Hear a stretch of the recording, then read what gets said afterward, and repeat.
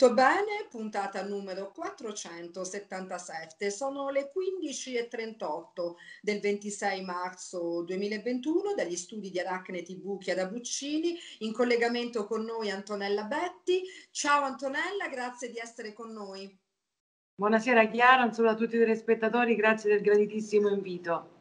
Oggi Antonella Betti è la nostra amica giornalista assistente sociale, una persona molto attiva nel campo del sociale con, sua, eh, con, il suo sodalizio. Oggi è una giornata particolare per Antonella Betti, ci dirà perché. La puntata si intitola Nel ricordo di M ed Andrea. Antonella attraverso un percorso che stiamo facendo con delle puntate qui su Aracne TV ci sta raccontando la sua storia che poi è una storia che coinvolge tante altre persone. Antonella, che giornata è oggi per te? Che anniversario è?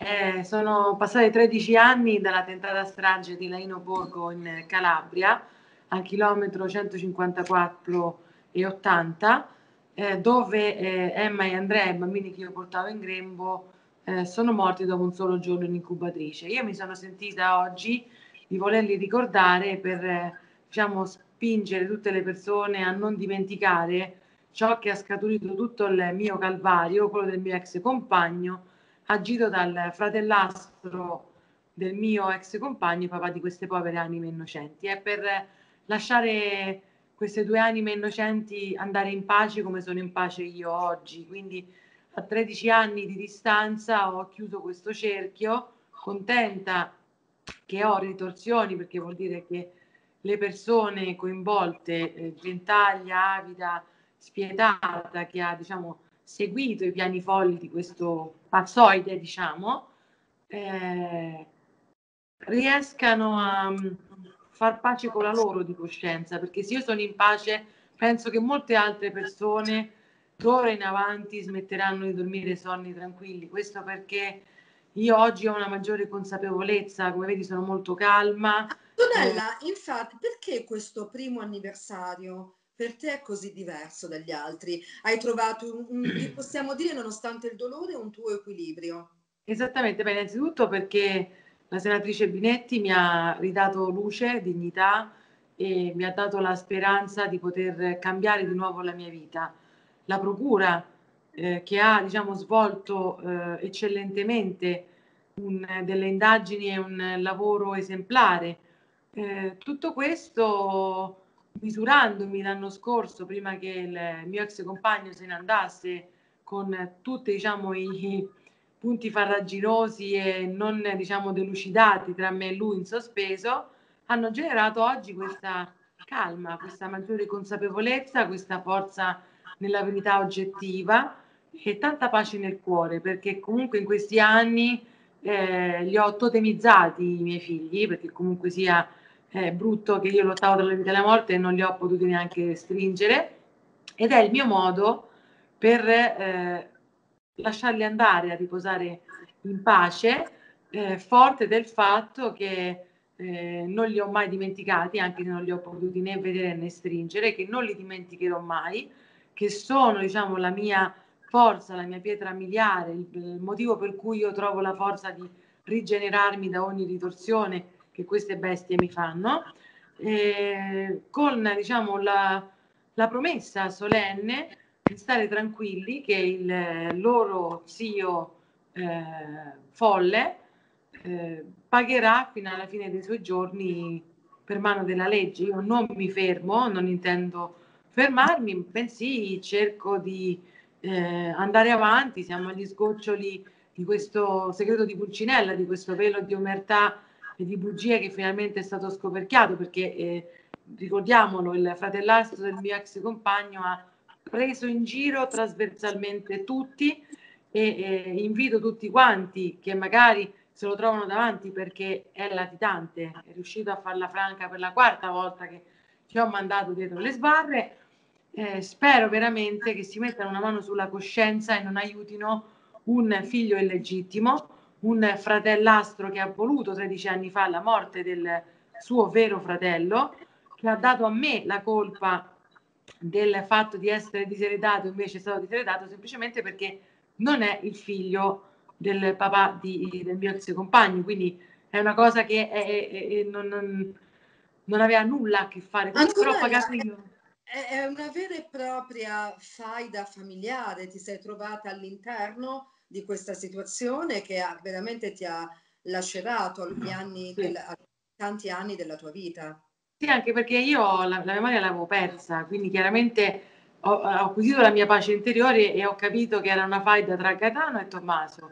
Gaetano eh, figlio legittimo, Tommaso figlio illegittimo, ma tutto questo ha comportato che hai preso in giro una stalker, tutte le persone, perché lui si è spacciato maniacalmente per il mio ex compagno, ma in realtà evidentemente sai che c'è, andava fatto questa inversione di rotta perché io a un certo punto l'anno scorso esasperata da questo accanimento perché eh, Tommaso ha agito contro di me un accanimento persistente in questi 13 anni, stiamo parlando di 13 lunghissimi e dannati anni che io non gli perdonerò mai. Siccome sono un volto pubblico, mi riconoscono eh, agli studi medici, mi riconoscono ovunque, perché io questo, questa missione, diciamo, l'ho eh, interiorizzata e continuo a portarla a termine. In che senso? Nel senso che ha fatto del male gratuito, ha fatto del male gratuito alla mia stalker, ha fatto del male gratuito a tutte le persone alle quali ha millantato soldi,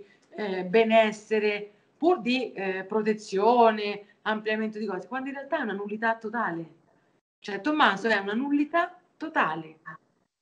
Che ti dico una cosa, um, io vedo questa giornata come una giornata di luce, di speranza e di cambiamento.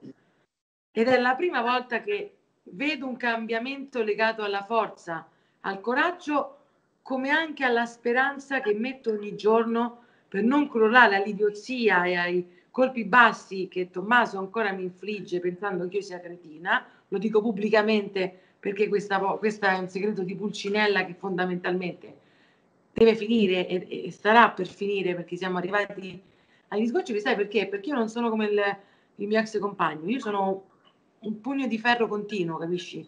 Cioè, è difficile che io cambio idea quando sono certa che la verità Della... è oggettiva, capisci? Cioè io divento un caterpillar, cioè quando io posso sbagliare, chiedo scusa, faccio un passo indietro, ma se io oggettivamente scopro, come in questo caso, che da innocente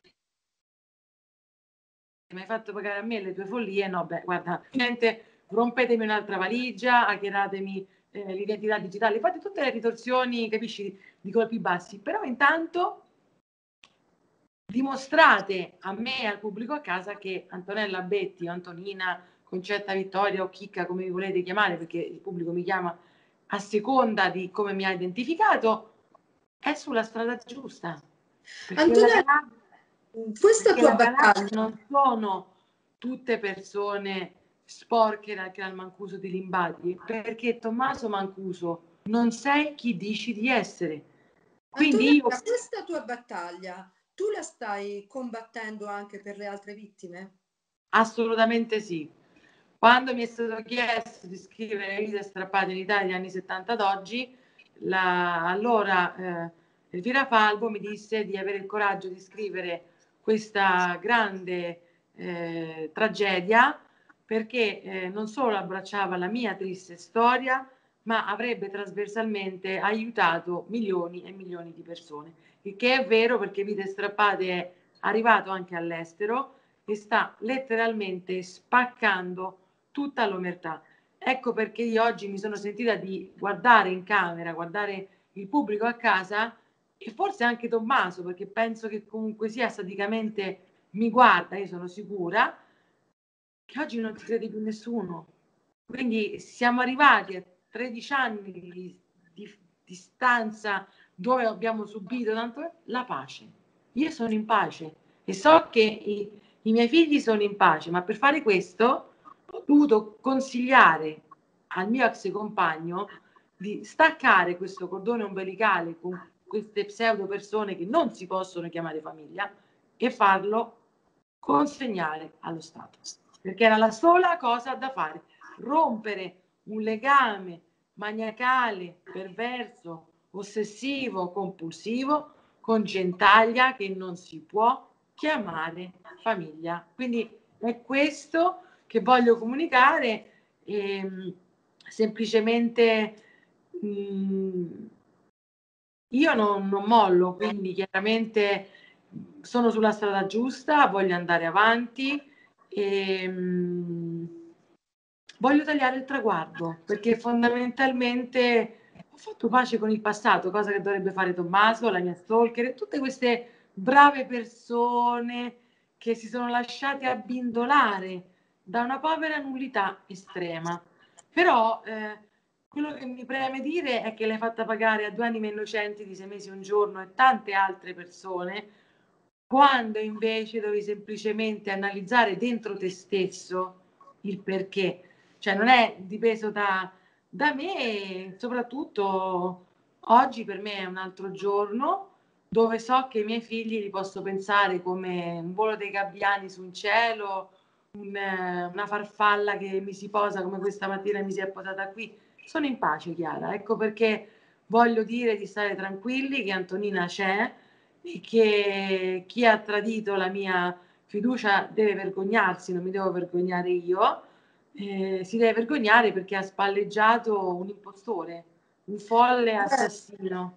Antonella, è bello, è molto bella questa immagine che tu ci consegni di questa giornata di oggi, a, a 13 anni da questa data da questa situazione, che da questa tentata strage che ti ha veramente sconvolto la vita, un percorso di, di dolore e di battaglia che però ti ha fatto ritrovare la pace con te stessa e con questi due angeli, Emma ed Andrea, perché ce li descrivi adesso proprio come come due angeli che tu non hai potuto stringere, ma che ti stanno proteggendo veramente da, da 13 anni, sono lì e ti proteggono. Quindi mh, è veramente una bella immagine che ci consegni di questa giornata, Antonella, e io ti ringrazio di aver condiviso con noi, di essere stata protagonista di Andrà Tutto Bene, ti chiedo proprio in un telegramma di dare un segnale eh, un, di speranza a chi ci ascolta e a chi sta combattendo le, le sue battaglie. Ognuno ha una sua battaglia no, da portare avanti.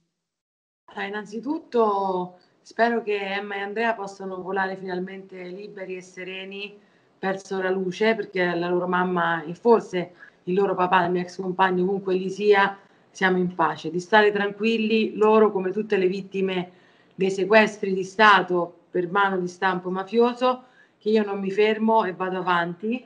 Eh, ai miei figli dico che ci rivedremo un giorno e ci daremo quel, quell'abbraccio negato da, da, questo vostro zio, eh, fratello illegittimo e folle che ha eh, messo su tutto questo cinema e lo faccio perché ehm, credo che sia doveroso per tutte le persone che mi hanno dato la forza di arrivare fino a qua e al contempo chiudo ogni genere di porta a tutte quelle persone che mi hanno infangato, che hanno fatto sì che passasse ancora altro tempo pur di spalleggiare un povero folle che è solo e solo deve restare. Grazie mille a tutti.